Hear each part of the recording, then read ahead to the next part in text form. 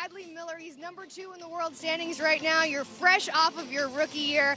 How exciting has this season been for you to kick it off? This is exciting. I'm getting to go to all these big winter rodeos that I didn't get to go to last year, and it's a lot of fun, new experiences. I'm enjoying it. Okay, so describe that moment when you walked into the Frost Bank Center and saw this amazing arena for the first time. So I walked in, I got a little lost at first, but once I found the locker room, I walked up here to put my rigging on my horse, and I'm like, whoa, this place is amazing. It's awesome. Well, and you've also been riding amazing. You got the round win last night. You split it with Gavin and Garrett. What was that like? It was really good. I'm traveling with Garrett this year, and uh, he's an outstanding guy. We were talking about we're going to go one two everywhere we go, and uh, we got to split it last night, so it was special. Hey, that worked out pretty well. And you're also having an amazing start to your season. You've been traveling all over the place. What's been the key to all the success this year? You know, I'm, I'm just trying to keep it simple this year. I, um, just go go in with the mindset of um, it's just another horse, no matter where we're at, and uh, I've been thankful to draw good at most places I've went to, and uh, that's helped me out a lot.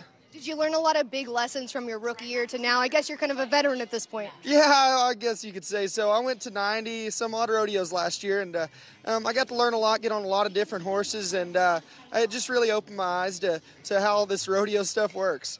What are your big goals that you have for the 2024 season, and how much can San Antonio help you achieve those goals? So, um, San Antonio, of course, making NFR. San Antonio, the payout they have here is just outstanding, and um, it, it would be a heck of a start to, to add this onto the resume.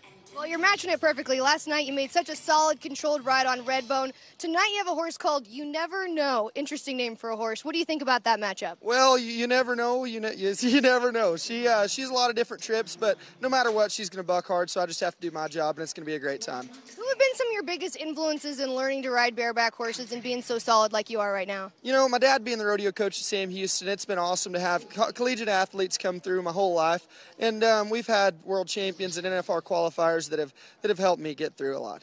What's the best bit of advice you've ever gotten for a big rodeo setup like this? Oh, just keep it simple, stupid. K I S S. So I'm doing my best. I love that. We wish you the best of luck tonight, and maybe you'll move on to the semifinals after you've got that round win. Congratulations. Thank you very much. Bradlee Miller, he's got one round win under his belt. He's out tonight in the bareback.